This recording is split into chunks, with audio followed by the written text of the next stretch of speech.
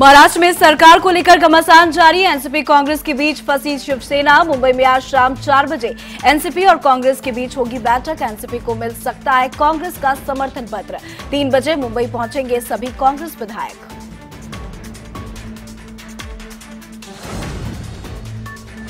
NCP ने कांग्रेस पर फोड़ा ठीकरा एनसीपी नेता अजित पवार का बयान हमारे तरफ नहीं हुई कोई देरी कांग्रेस की तरफ से नहीं मिली कोई लेटर अजीत ने यह भी स्पष्ट किया कि हमारी तरफ से कोई देरी नहीं हुई है हम कांग्रेस से बात करेंगे और राज्यपाल से ज्यादा वक्त मांगने की कोशिश करेंगे एनसीपी नेता अजित पवार ने कहा कि हमने सोमवार को पूरा दिन कांग्रेस के समर्थन पत्र का इंतजार किया क्योंकि कांग्रेस के बिना हमारे समर्थन का कोई मतलब नहीं है अजित पवार ने यह भी कहा कि स्थायी सरकार देने के लिए कांग्रेस को आना चाहिए शिवसेना सांसद अरविंद सावंत के केंद्रीय भारी उद्योग और सार्वजनिक उद्यम मंत्री के रूप में पद छोड़ने के एक दिन बाद राष्ट्रपति रामनाथ कोविंद ने मंगलवार को उनका इस्तीफा स्वीकार कर लिया है और कैबिनेट मंत्री प्रकाश जावड़ेकर को मंत्रालय का अतिरिक्त प्रभार सौंप दिया है लोजपा के राष्ट्रीय अध्यक्ष चिराग पासवान ने महाराष्ट्र में बीजेपी और शिवसेना के बीच जारी तनातानी पर कहा कि ये गठबंधन पहले पुराना है हम भी एनडीए का हिस्सा है अगर ये गठबंधन टूटता है तो दुख होगा झारखंड विधानसभा चुनाव को लेकर भाजपा के राष्ट्रीय अध्यक्ष चिराग पासवान का बयान लोजपा अपने संगठन के दम पर झारखंड में अकेले चुनाव लड़ेगी साथ ही उन्होंने कहा कि इसका कोई भी प्रभाव बिहार और केंद्र की गठबंधन पर नहीं पड़ने वाला है गुरु नानक देव की 550वीं जयंती पर सीएम योगी आदित्यनाथ ने संबोधित किया इस दौरान सबसे पहले उन्होंने सभी को प्रकाश पर्व की बधाई दी उसके बाद उन्होंने कहा कि ननकाना साहब भी हम जल्दी जाएंगे सीएम योगी आदित्यनाथ से पंद्रह सिया सुन्नी मुस्लिम धर्मगुरुओं ने मुलाकात की इन धर्मगुरुओं में भी मोहम्मद हमीदुल हसन मोहम्मद सलमान हुसैन नदवी फरीदुल हसन यूसुफ हुसैनी शामिल थे लगभग एक घंटे तक ये मुलाकात चली है धर्मगुरुओं ने अयोध्या फैसले का स्वागत किया है और यूपी सरकार की कानून व्यवस्था पर बधाई दी है महाराष्ट्र में किसकी सरकार बनेगी ये तो कुछ घंटों में साफ हो जाएगा लेकिन इस बीच नेताओं के बयान आने जारी हो चुके हैं महाराष्ट्र के सियासी ड्रामे पर एआईएमआई चीफ असुद्दीन ओवैसी ने कहा कि ये खेल हो, हो रहा है ओवैसी ने ये भी साफ कर दिया कि वो किसी भी ऐसे गठबंधन को समर्थन नहीं देंगे जिसमें बीजेपी और शिवसेना शामिल होंगे योगी सरकार ने उनसठ लोगों की बढ़ाई सुरक्षा सुरेश राणा संगीत सोम की सुरक्षा में इजाफा किया गया है जफर फारूकी की भी बढ़ाई गई है सुरक्षा नरेश अग्रवाल को वाई प्लस श्रेणी की सुरक्षा और वहीं संगीत सोम को जेड प्लस की सुरक्षा दी गई है झारखंड में विधानसभा चुनाव पूर्व भारतीय जनता पार्टी और आजसू के बीच दरार साफ पड़ती दिख रही है ऑल झारखंड स्टूडेंट्स यूनियन ने अपने 12 उम्मीदवारों की लिस्ट जारी कर दी है इस लिस्ट में आजसू ने अपने तीन उम्मीदवार बीजेपी के खिलाफ उतारे हैं सुदेश महतो के नेतृत्व वाली आजसू ने झारखंड बीजेपी अध्यक्ष लक्ष्मण गिलवा के खिलाफ भी अपने उम्मीदवार के नाम का ऐलान कर दिया है पूर्व प्रधानमंत्री राजीव गांधी की हत्या में दोषी करार एजी पेरारिवलन को आज मंगलवार को पैरोल मिल गई है कोर्ट ने उसे 12 नवंबर से लेकर 13 दिसंबर तक यानी 30 दिन की पेरोल दी है कोर्ट ने एजी पेरारिवलन को पुलिस एक्सकॉर्ट देने का भी आदेश दिया है साथ ही कोर्ट की ओर से एजी पेरारिवलन को कृष्णागिरी में अपनी भतीजी की शादी और अस्पताल में अपने पिता की सर्जरी में शामिल होने का आदेश दिया महाराष्ट्र विधानसभा में किसी भी पार्टी को बहुमत नहीं मिलने पर उपजे हालात के बाद सरकार बनाने के लिए एनडीए से शिवसेना के अलग होने पर चर्चा शुरू हो गई है वहीं बिहार के मुख्यमंत्री नीतीश कुमार से महाराष्ट्र में शिवसेना के एनडीए से अलग होने के संबंध में पूछे जाने पर उन्होंने कहा कि वो जाने भाई इसमें हमको क्या लेना देना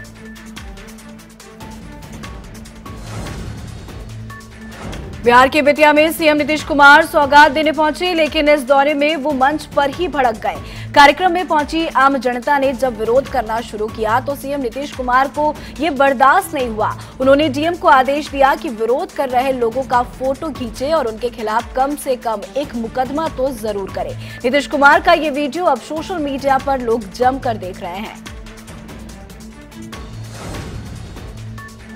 दिल्ली एनसीआर की हवा आज भी बेहद खराब बनी हुई है दिल्ली एनसीआर को सुबह स्मॉग की चादर ने अपने आगोश में ले लिया कई इलाकों में एयर क्वालिटी इंडेक्स 700 के पार पहुंच गया हवा की क्वालिटी का सबसे बुरा हाल दिल्ली से सटे शहरों में भी देखने को मिला नोएडा सेक्टर बासठ में एस एक्यूआई 714 और गाजियाबाद के वसुंधरा में छह रिकॉर्ड भी देखा गया जो सबसे खतरनाक स्तर पर लगातार बना हुआ है गुरु नानक देव का 550वां प्रकाश पर्व आज धूमधाम से भारत समेत पूरी दुनिया में मनाया जा रहा है इस बेहद खास मौके पर गुरुद्वारों को विशेष रूप से सजाया गया है वहीं प्रधानमंत्री नरेंद्र मोदी और राष्ट्रपति रामनाथ कोविंद ने देशवासियों को बधाई दी है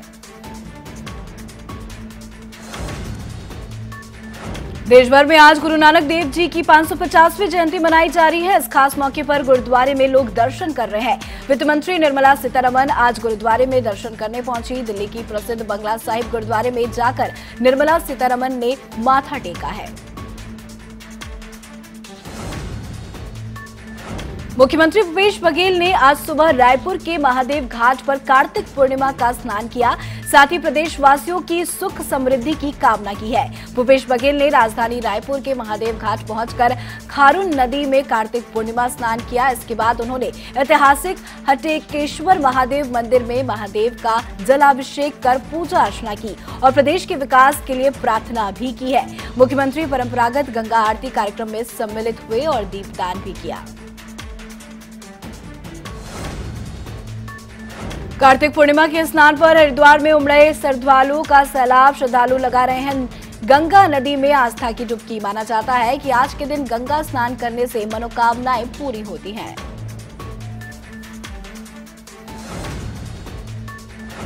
भगवान राम की नगरी अयोध्या में कार्तिक पूर्णिमा की धूम देखने को मिल रही है कार्तिक स्नान के लिए सरयू नदी पर लगातार भक्तों का तांदा लगा हुआ है कड़ी सुरक्षा के बीच श्रद्धालुओं ने लगाई है पावन नदी सरयू में डुबकी सरयू माँ की फल फूल बंगले की झांकी सजाकर विशेष महाआरती का भी आयोजन किया गया है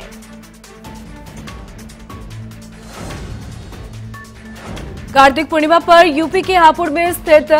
गढ़मुक्तेश्वर के ब्रज घाट पर सुबह से ही लोगों का आना जारी है कई राज्यों में आए महिला बच्चों समेत 35 लाख से भी ज्यादा भक्तों ने मोक्षदायिनी गंगा में आस्था की डुबकी लगाई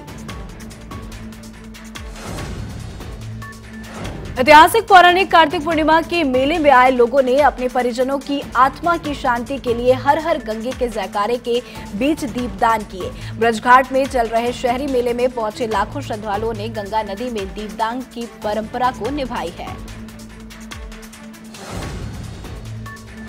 वहीं पूरे देश भर के साथ कासगंज जिले में भी कार्तिक पूर्णिमा का पर्व परंपरागत तरीके से मनाया गया लाखों श्रद्धालुओं ने गंगा घाट पर आस्था की डुबकी लगाकर पुण्य लाभ मांगा है इस दौरान हर हर गंगे के जयकारे से गंगा घाट गूंज उठे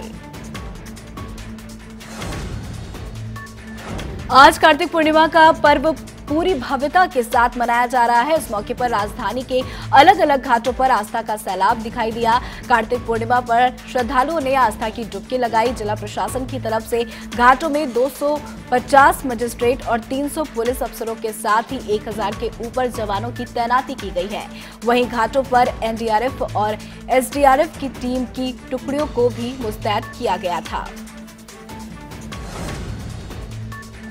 कार्तिक पूर्णिमा के मौके पर बिहार के नवादा में जिले में एक दर्दनाक हादसा हो गया कार्तिक पूर्णिमा पर नहाने गई दो युवतियों की मौत हो गई जबकि बचाने गए एक शख्स की भी डूबकर मौत हो गई है नवादा जिले के को आलकोल के सूर्य मंदिर तालाब में ये हादसा हुआ गोंजा में आर नाइन टीवी की खबर का बड़ा असर देखने को मिला है गोंजा शहर की आंधी से ज्यादा आबादी को डेंगू ने अपनी चपेट में ले लिया आर नाइन टीवी ने ये खबर प्रमुखता से दिखाई दी खबर चलने के बाद स्वास्थ्य विभाग और नगर पालिका प्रशासन की नींद खुली है शास्त्री नगर मोहल्ले में स्वास्थ्य कर्मी पहुंचकर लोगों को दवाइयाँ बांट रहे हैं शाहजहापुर में मंगलवार सुबह करीब साढ़े दस बजे डेरलमेंट हो गया मुरादाबाद की ओर से कार लोड करके आ रही मालगाड़ी के चक्के अल्टिया पाटक पर पटरी से उतर गई ट्रेन कुछ दूर घिसती हुई चली गई तेज आवाज सुनकर आसपास के गांव के लोग भागकर मौके पर पहुंचे हालांकि इसे कोई जानहानि का खतरा नहीं पहुंचा है यूपी के गुना शहर की आबोहवा को लगा प्रदूषण का ग्रहण एनजीटी के आदेशों का हो रहा है खुला उल्लंघन नगर पालिका जलवा रही है लाखों टन कचरा वायु प्रदूषण से परेशान शहर की पांच लाख आबादी वायु प्रदूषण से शहरवासियों का सांस लेना दूभर हो गया है शिकायत के बाद भी सूद नहीं ले रहे हैं प्रशासन गया शहर में इन दिनों अपराधियों का बोल बाला नजर आ रहा है मानपुर के बुनियादगंज थाना क्षेत्र में सामने आया है अपराधियों ने दिन दहाड़े मामले के थोक विक्रेता की दुकान पर छह गोलियां उसके ऊपर चला दी पूरी घटना सीसीटीवी कैमरे में कैद हो गई है जिसके बाद इलाके में दहशत का माहौल बना हुआ है सिद्धार्थनगर जनपद में स्थित नौगढ़ रेलवे स्टेशन अब सिद्धार्थ नगर के नाम से जाना जाएगा जिले की स्थापना के बाद से ही नौगढ़ रेलवे स्टेशन का नाम बदलने की मांग की जा रही थी प्रदेश सरकार द्वारा नाम बदलने को लेकर भेजे गए प्रस्ताव पर भारत सरकार ने अपनी सहमति जताते हुए नाम बदलकर भेजने को कहा है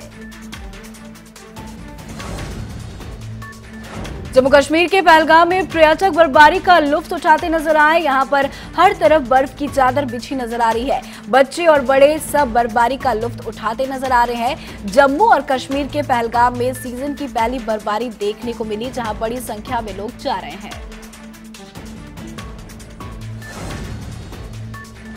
ओडिशा के मयूरभंज जिले के करजिया वन रेंज में जंगली हाथियों के झुंड का तांडव देखने को मिला हाथियों के इस झुंड ने धान की फसलों को नष्ट कर दिया तस्वीरों में हाथी अपने मस्ती में दौड़ते दिखाई दे रहे हैं हाथों के हाथियों के इस झुंड को देखने के लिए लाखों लोगों की भीड़ भी जुट गई जम्मू कश्मीर के गांधरबल जिले के गुंज इलाके में सुरक्षा बलों और आतंकियों के बीच मुठभेड़ में एक आतंकी ने मार गिराया है वहीं समाचार एजेंसी पीटीआई के अनुसार एक सुरक्षा बल घायल हो गया है प्रधानमंत्री नरेंद्र मोदी छठी बार ग्यारहवीं ब्रिक्स सम्मेलन में हिस्सा लेने के लिए आज ब्राजील रवाना होंगे पीएम वहां 13 और 14 नवंबर को आयोजित सम्मेलन में भाग लेंगे इस बार समिट की थीम उन्नत भविष्य के लिए आर्थिक वृद्धि है प्रधानमंत्री कार्यालय ने बताया कि प्रधानमंत्री मोदी पहली बार ब्रिक्स सम्मेलन में हिस्सा लेने दो में ब्राजील के शहर फोर्टलेजा गए थे महंगाई की मार झेल रहे पड़ोसी मुल्क पाकिस्तान में टमाटर की कीमत आसमान छू रही है पाकिस्तान में टमाटर की कीमत अब 160 रुपए तक बढ़कर 320 रुपए प्रति किलो पर पहुंच गई है वहीं हालांकि अब टमाटर 140 से 170 रुपए के भाव पर बिक रहे हैं टमाटर की कीमत बेतहाशा बढ़ाने पर जहां लोगों को काफी परेशानियों का सामना करना पड़ रहा है वही गृहणिया रसोई में टमाटर के विकल्प पर विचार कर रही है पाकिस्तान के पूर्व प्रधानमंत्री नवाज शरीफ की पार्टी पाकिस्तान मुस्लिम लीग नवाज का कहना है कि विदेश जाकर इलाज करवाने में हो रही देरी के कारण उनका स्वास्थ्य खतरे में आ गया है शरीफ का नाम तो नो फ्लाई लिस्ट में शुमार है जिसकी वजह से वो विदेश यात्रा नहीं कर पा रहे हैं उन्हें इस लिस्ट में अपना नाम हटने का इंतजार है नवाज शरीफ को पहले ही डॉक्टर इलाज के लिए ब्रिटेन जाने की सलाह दे चुके हैं लेकिन नो फ्लाइंग लिस्ट में नाम होने की वजह से वो देश से बाहर नहीं जा सकते अमेरिका ने संयुक्त राष्ट्र में दलाई लामा का मुद्दा उठाने की योजना बनाई है चीन ने इस पर कड़ी आपत्ति जताते हुए अमेरिका से उसके आंतरिक मामले में दखल न देने की अपील की है चीन का कहना है कि अगले दलाई लामा के चयन में उसका रोल अहम है न कि किसी अन्य देश का संयुक्त राष्ट्र सुरक्षा परिषद में चीन का वीटो पावर है इसे इस्तेमाल हुए वो दलाई लामा पर लाए गए किसी भी प्रस्ताव को गिरा सकता है इसके बावजूद अमेरिका का कहना है कि दलाई लामा के मुद्दे पर अन्य देशों को संयुक्त राष्ट्र में आवाज उठानी चाहिए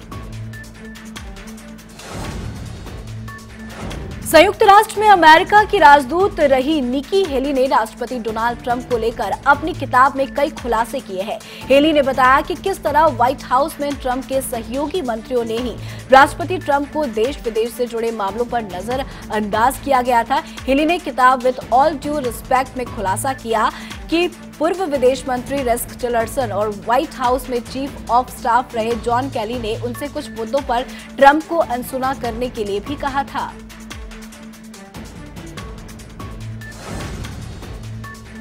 अमेरिका के शिकागो में भीषण बर्फबारी और तेज हवा के बीच बर्फीले तूफान जैसे हालात बन चुके हैं वहीं बर्फबारी की वजह से शिकागो से चलने वाली 1,200 से ज्यादा फ्लाइट को रद्द कर दिया गया अमेरिका के मौसम विभाग के मुताबिक शिकागो के उत्तर और मध्य इलाके में भारी बर्फबारी हुई है इस क्षेत्र में तीन से छह इंच बर्फ बिछी हुई है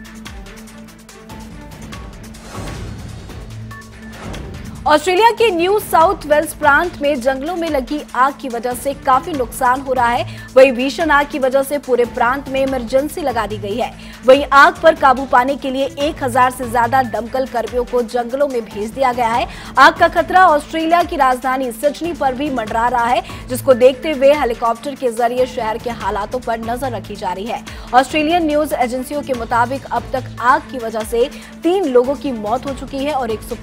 से ज्यादा घर जल चुके हैं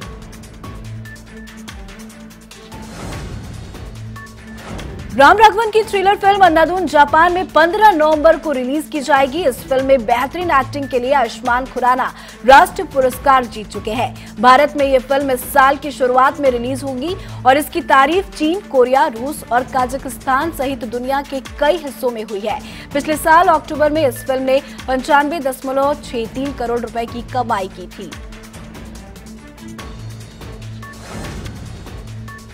मशहूर सिंगर लता मंगेशकर की तबीयत खराब होने की खबर सामने आई है बताया जा रहा है कि वो मुंबई के ब्रीच कैंडी अस्पताल में वेंटिलेटर पर है फिलहाल लता की हालत स्थिर है लेकिन गंभीर बनी हुई है रविवार रात दो बजे सांस लेने में लता जी को दिक्कत हुई थी उसके बाद उन्हें अस्पताल में ले जाया गया था तब से उनका इलाज लगातार जारी है अस्पताल पहुंचने के कुछ देर बाद ही उन्हें वेंटिलेटर पर शिफ्ट कर दिया गया था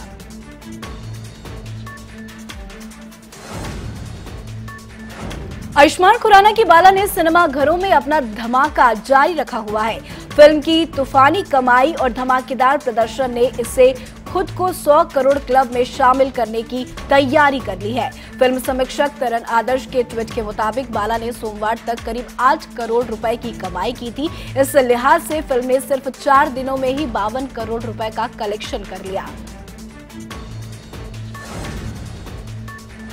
अक्षय कुमार रितेश देशमुख और बॉबी देवल की फिल्म हाउसफुल फोर की दमदार कमाई रुकने का नाम नहीं ले रहा रोजाना ताबड़तोड़ प्रदर्शन करते हुए फिल्म जल्दी 100 करोड़ का आंकड़ा भी पार करने वाली है धनतेरस के मौके पर रिलीज हुई अक्षय कुमार की इस फिल्म ने बॉलीवुड की कई कॉमेडी फिल्मों को भी पछाड़ दिया है फिल्म के शुरुआती आंकड़ों को देखते हुए ये कहा जा सकता है की हाउसफुल चार ने बीते दिन करीब एक दशमलव पाँच करोड़ रूपए की कमाई की होगी इस लिहाज से फिल्म सत्रह दिनों में कुल एक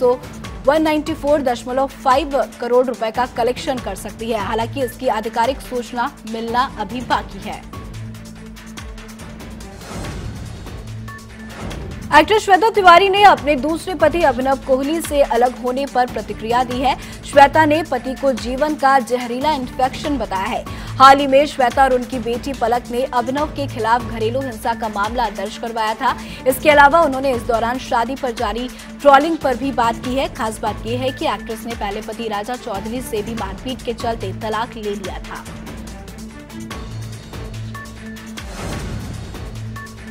इंग्लैंड के विकेटकीपर बल्लेबाज जॉनी वेरस्टो को आईसीसी ने अभद्र भाषा के इस्तेमाल के कारण फटकार लगाई है आईसीसी के जारी बयान के मुताबिक बोर्ड ने वेरस्टो को उसकी आचार संहिता के नियम के लेवल एक का उल्लंघन करने के कारण एक नकारात्मक अंक भी दिए हैं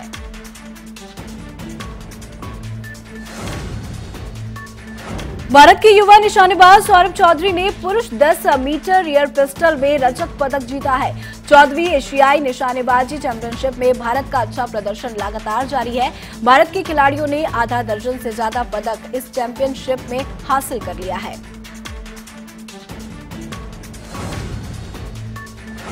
अंगद वीर सिंह बचवा और मिराज अहमद ने चौदहवीं एशियाई चैंपियनशिप में पुरुषों की स्किट स्पर्धा में पहले और दूसरे स्थान पर रहते हुए देश के लिए दो और ओलंपिक का कोट हासिल किए हैं इन निशानेबाजों ने पदक से टोक्यो ओलंपिक 2020 के लिए भारतीय निशानेबाजों ने अब तक का रिकॉर्ड 15 कोटे में हासिल कर लिया